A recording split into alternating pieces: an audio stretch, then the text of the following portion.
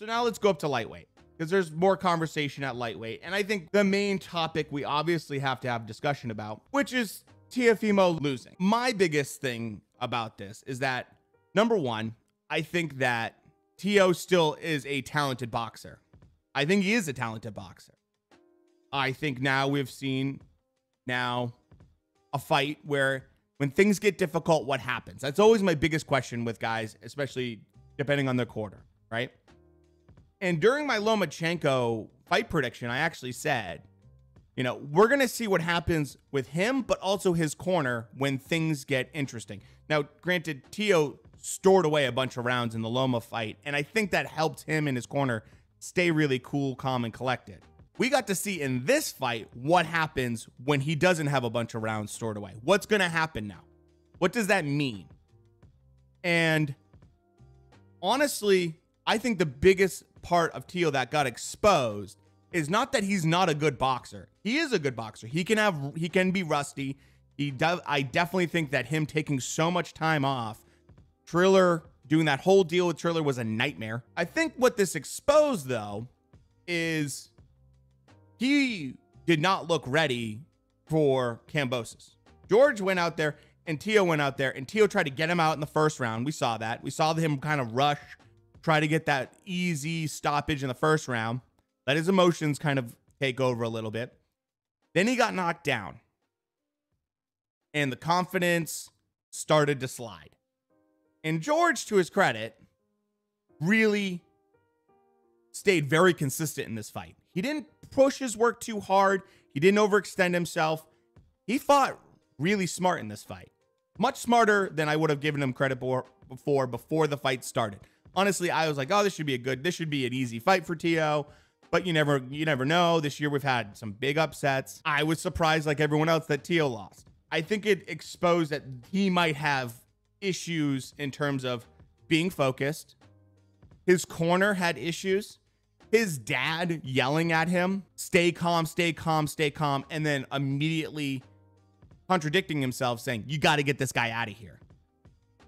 And it's like, you're giving really mixed signals in the corner. And if you guys know me, I like really simple corner instructions. Keep it simple because if you you're throwing a bunch of things at especially young guys, you don't get a clear communication flow going with them and they don't execute. That's something I saw that happen. The other part that tells me there's issues outside of the ring for Tio is his total vibe on social media changed. He went from being kind of like talking tough and kind of showing himself training, especially on like Twitter and stuff like that. It was always like him doing training videos, right? And I was like, wow, this guy looks huge for lightweight. And now it turned into him quoting Gandhi.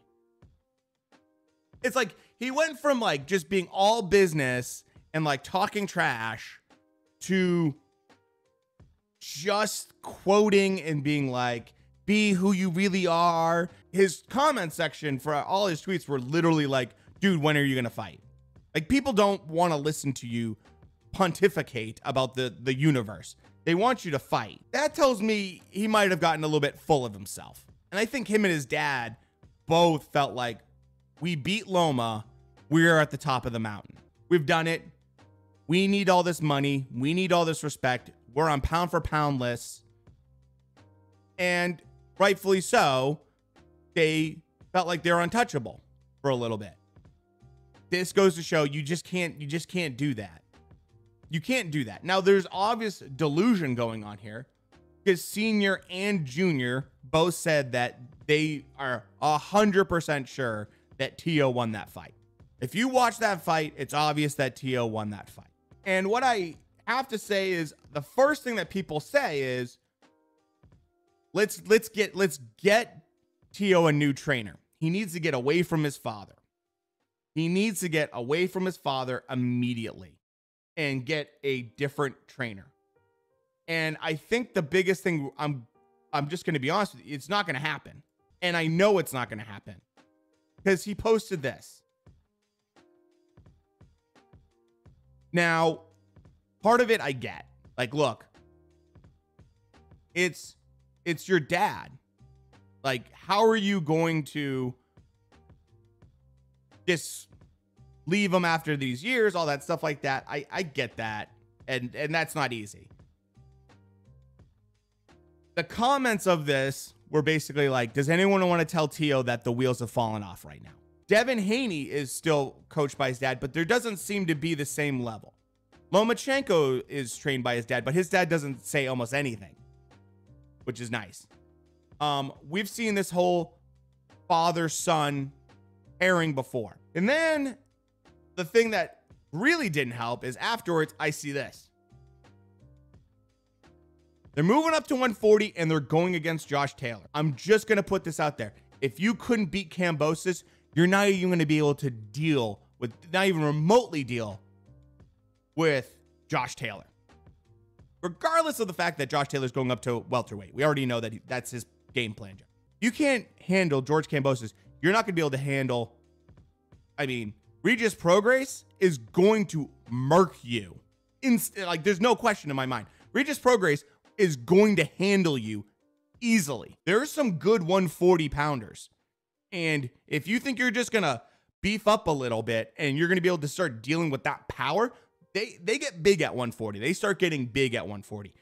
It, eh, no way. Jose Ramirez, don't forget, Jose Ramirez did pretty well against Josh Taylor at the beginning. Regis Prograis did very well and throughout the entire fight against Josh Taylor.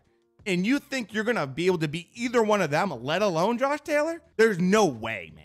I'm sorry. We're not, this is la la land kind of crap. It's not going to happen. It's not going to happen. In terms of injury, how many people in the chat were talking about Tio being injured? Oh, well, he had a shoulder injury before the fight. Well, he had a shoulder injury before the fight.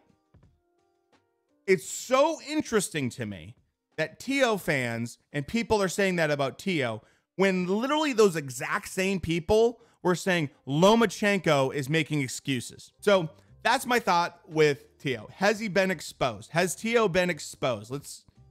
I don't think Tio's been exposed as a fighter. He is a solid fighter. He has real skill. He has real talent. I think we've seen that he's been exposed in the sense that maybe his corner isn't as solid as we thought with his dad. Maybe his focus isn't as spot on as it needs to be. Not absolutely completely focused all the time on doing his job. He now has to really go backwards because he's not going to get a big title fight. There's no value in him anymore. You're not going to get a Josh Taylor fight.